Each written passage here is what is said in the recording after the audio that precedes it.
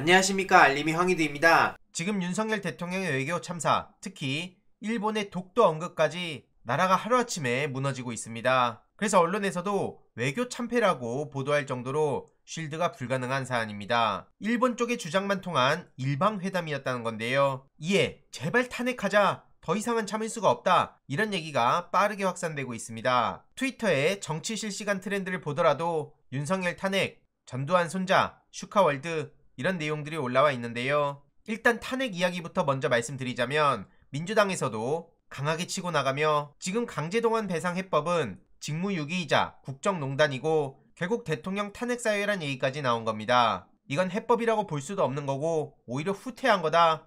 요미우리 신문 인터뷰를 통해서는 황당한 소리를 내뱉었는데 이런 와중에 권성동 씨는 문재인 정부에서 파탄낸 한일 관계를 오히려 윤석열 정부에서 복원한 거다. 이런 식으로 되도 않는 실드를 치고 있습니다. 이에 민주당에서는 망국적 야합에 결연히 맞서 싸우겠다. 오늘 최고위원 회의에서 이재명 대표는 영업사원이 나라를 판 거라고 비판했고요. 그리고 민주당에선 역사 팻말을 앞세웠죠. 이렇게 역사를 팔아서 미래를 살 수는 없다. 라고 하며 태극기를 건 건데요. 이에 많은 시민들은 아예 국민의힘은 일본의 속국을 자처해라. 간 쓸개 영혼까지 오므라이스 한 그릇에 다 팔아넘겼다. 이러니 탄핵에 대한 얘기가 나오는 겁니다. 그리고 슈카월드 이야기는 왜 갑자기 트렌드에 올라왔냐? 최근 논란이 된 69시간 이후로 지금 윤석열 대통령은 60시간을 언급하고 있는데 이마저도 1953년 제정된 근로기준법에 담겨 있던 내용이라 노동계 반발이 예상되는 상황이죠. 실제로 벌써부터 많은 비판이 나오고 있고요. 언론에서조차 여론에 밀려 우왕좌왕한다. 결국 택도 없는 얘기를 던졌다가 사측에선 이게 뭐냐 이런 얘기가 나오는 거고 노동자들 입장에선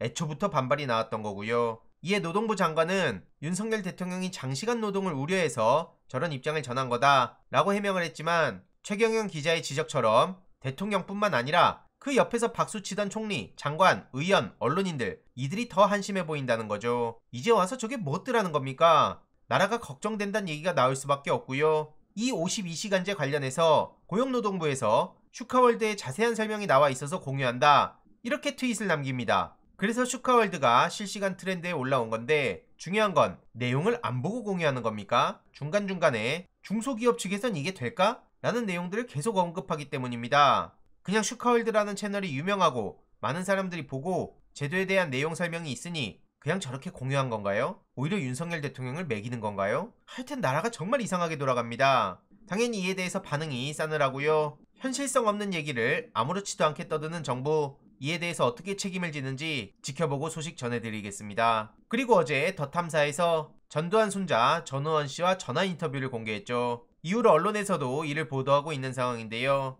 전두환을 일찍 죽게 만들었을 가능성도 있다고 생각한다. 이런 내용까지 나옵니다. 그런데 이를 두고 언론에선 음모론을 제기했다. 이런 식으로 얘기하는데 검찰을 비롯해서 기득권 세력이 유리한 얘기를 할 때는 그대로 받아쓰고 마치 사실인 것처럼 보도하더니 또 이럴 땐 음모론입니까? 그리고 방금 전 전두환 손자 우원 씨가 병원에 가서 숨을 안 쉰다고 한다. 긴급 기도 부탁드린다. 이런 글이 우리들 교회 홈페이지에 올라왔습니다. 그리고 다행히 호흡이 다시 돌아온 상황이라고 하는데요. 지금 굉장히 중요한 내용들을 폭로하고 있기에 많은 사람들이 주목하고 있습니다. 절대 가만히 둘 것 같지도 않은 게 실제로 폭로성 주장 일부가 사실로 드러나기도 했고 돈 세탁을 지목한 병원장 관련 내용이 나와서 분노한 시민들의 목소리가 점점 더 커지고 있습니다. 그런데 과연 이에 대해서 윤석열 정부가 제대로 수사나 할지 모르겠다. 만약 이재명 대표 털듯이 하면 수천억 이상 나오지 않을까? 이런 반응들이 나오고 있는데요. 심지어 할머니 이순자의 카톡까지 공개했습니다.